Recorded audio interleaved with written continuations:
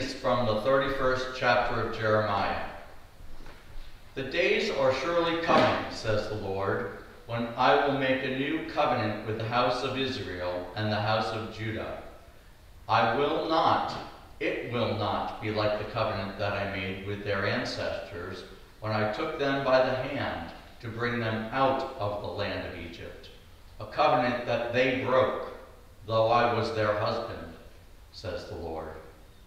But this is the covenant that I will make with the house of Israel after those days, says the Lord.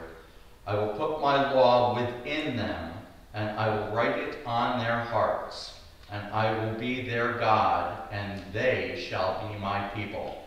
No longer shall they teach one another, or say to each other, Know the Lord, for they shall all know me, from the least of them to the greatest, says the Lord.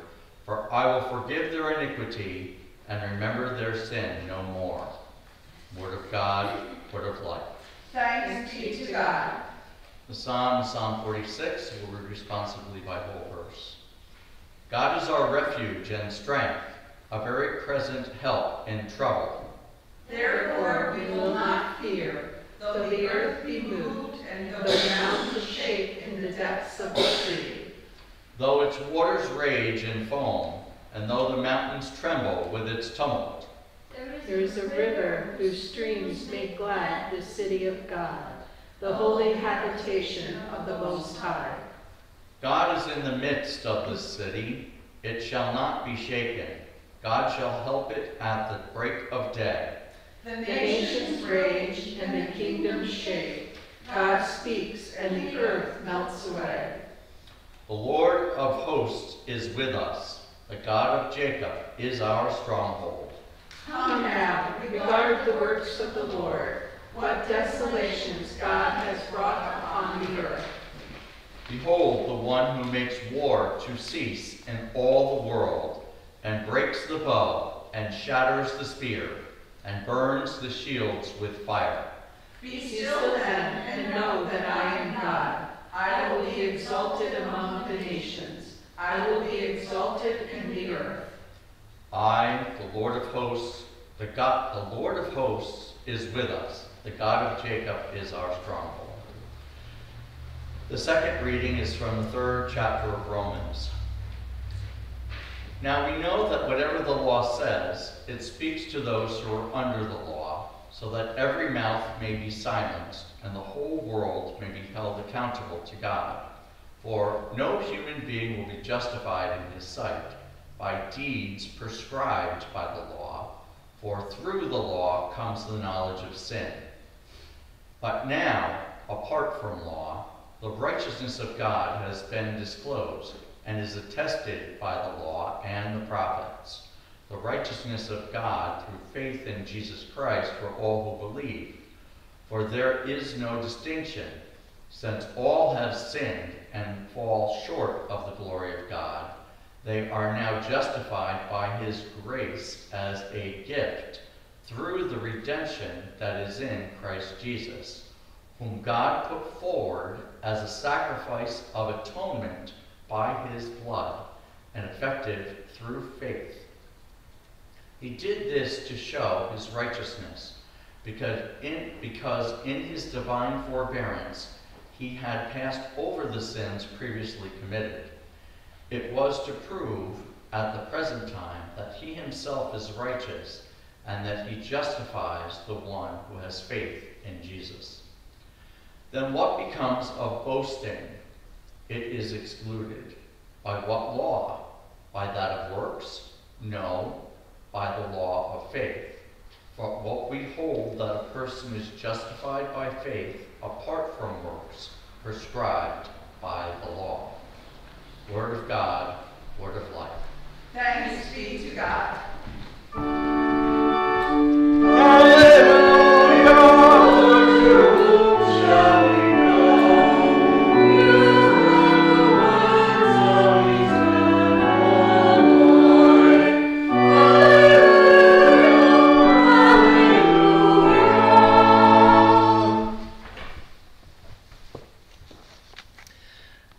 Gospel according to John.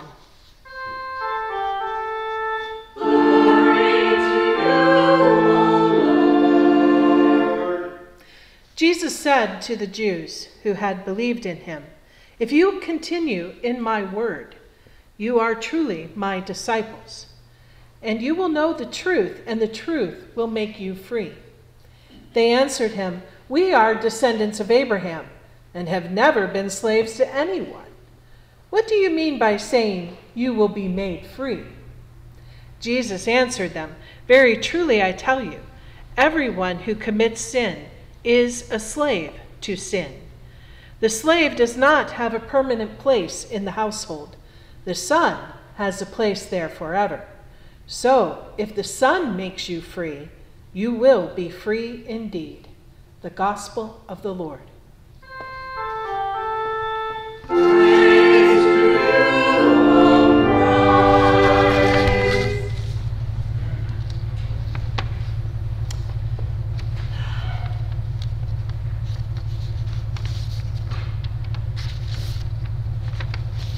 Pages were out of order.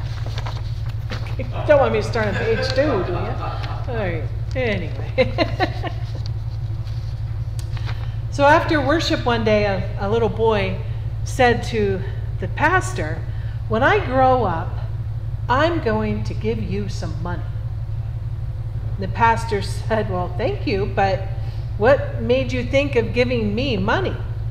And the little boy said, Well, my daddy says that you're one of the poorest preachers we've ever had. Okay, you can laugh at that. But hopefully you don't think that with me. All right. with the risk of that joke in mind, I'm going to speak about spiritual needs. And one of our spiritual needs is growing in faith. In the words of Peter Pan, I won't grow up. Not a penny will I pinch. I will never grow a mustache or a fraction of an inch. Because growing up is awfuler than all the awful things that ever were. I will never grow up, never grow up, never grow up. Not me. Some people are like Peter Pan when it comes to faith. We don't want to grow up. We're comfortable right where we are. In fact, we don't know why anyone would want us to change at all. Like Peter Pan, we express our desire to just stay where we are. There was a group of Peter Pans in the Bible in the New Testament, we know them as the Pharisees. The Pharisees did not want to grow anymore. They are an example of frozen spiritual development. they were so convinced that they had all of the answers that they sort of closed their hearts to God. I have seen people from age 20 to 60 acting like they were still in their cribs. Haven't we all seen people that just act like little children? I've occasionally been there myself, sort of stuck. We might actually want to grow up and have the urgent need to feel like we are growing in our faith and intellectually and emotionally and spiritually. We do want to mature and learn and expand our faith.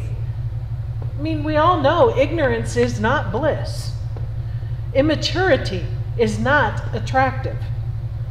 Peter Pan may think it's wonderful, but Wendy and her brothers, after spending time with Peter, discovered differently. When we are growing in faith, we rejoice knowing that we are free in Jesus' words If you continue in my word, you are truly my disciples. And you will know the truth, and the truth will make you free. So if the Son makes you free, you will be free indeed.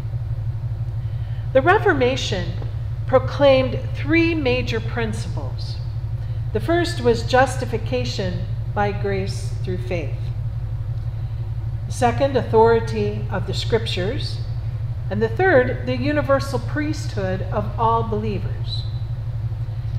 Looking at the first of these, that by God's grace in Jesus Christ, we are forgiven, cleansed, healed, made free, made perfect and sinless in Christ.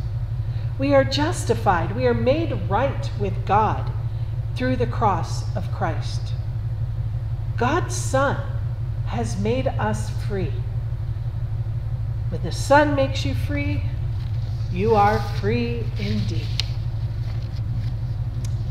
We also rejoice knowing and feeling that we are free to grow. We're either trees or fence posts. You can take a tree and put it in the ground, and it begins to grow. When you put a fence post in the ground, it begins to rot decay. We are trees or we are fence posts. As a pastor, it has been my delight to see people grow like trees. Unfortunately, I've also had to witness the sadness of watching fence posts decay. People losing their mission in, in life, and so they just do nothing. They stay the same. Some faith development theorists see the Christian believer going through various stages and levels of maturity in life. One uses the analogy, again, of a tree. We like growing things, right? A tree that only has one ring is still a tree, is it not? It's a complete tree. It is every bit a tree as a tree that has a hundred rings. The same is true of faith. A tree grows one ring at a time, gradually. And it, that's the way faith works as well. It depends on how, on your environment and your nourishment, what you are do- doing to nourish that faith that will help it to grow. So we can rejoice knowing that we are free to grow, free to mature. I'll never forget watching two boys arguing. One brother shouted to the other, Shut up! Now, saying shut up was not allowed, nor was it ever said in the house I grew up in. Mother considered that close to profanity. so my ears were a little shocked when I heard the one boy shout that out. But the other says back to him, I don't shut up, I grow up. And when I look at you, I throw up. I love boys. Like they, they just boys have a way of saying things, don't they? Yeah. I think they have to find every excuse to put something yucky in it, right? God calls us to maturity in our newfound freedom. Maybe, maybe we're like naked crabs. Like when you go to the seashore, every pool you know, left by the tide has those little crabs in it. Little ones that sort of scuttle sideways, right? Squeeze under rocks, peek out at you. Occasionally they venture out, try to nibble on your toe. Now and then you see bigger crabs in those deeper and safer pools of water. With great majesty, they sort of wave their huge claws at you, warning you to stay clear of them. But walk down the beach. There's shells of crabs lying or washed up by the waves. Some are from crabs that have died, but others are just simply discarded. A dwelling too small for its growing occupant. That's how crabs get bigger, right? Then when their shells get too tight, they split the shell open and then discard it and grow a new one. I've never talked to a crab, but I can imagine that that process of splitting open a shell has to be somewhat painful. I'm sure that until they grow a new shell, they feel terribly defenseless and vulnerable. They're literally naked. That's how we feel sometimes when we have to crack open our shells. Our shells aren't visible like the crabs, but our shells are there. Our shells are formed by years of habit, shells that protect us from other people, shells that are the roles that we play as parents or children or bosses or spouses. Every now and then, we crack our shells open and emerge into a new world, quivering and defenseless. Teenagers do it as they become adults. No wonder teenagers get so crabby, right? Our country did it in the 60s when we took on race and wars. I wonder sometimes if our country isn't going through a bit of that again. Adults do it when they learn to quit running their children's lives, or when they lose jobs, or a spouse dies, or you lose a home in a fire, or the list can go on and on. But we are free to grow up and to bear fruit by the grace of God. Norman and his wife were a part of a group that consisted of Lutheran and Catholic couples. They would meet in homes and discuss faith, both their similarities and their differences, and then they would pray together. One night, Norman said, I always prayed for the conversion of my Lutheran wife to Catholicism. And now I pray a different prayer a prayer for growth and deeper understanding in our common faith. It's a simple example of growing and maturing. The thing is, is that God never leaves us as God finds us. God never leaves us as God finds us. We are changing by the grace of God and the movement of the Holy Spirit. God is maturing us. We're not today what we were yesterday, nor what we will be tomorrow. So we celebrate. We are free. God's Son has made us free. We should celebrate that. Be happy about that. We are free to grow, free to grow up in Christ. Amen.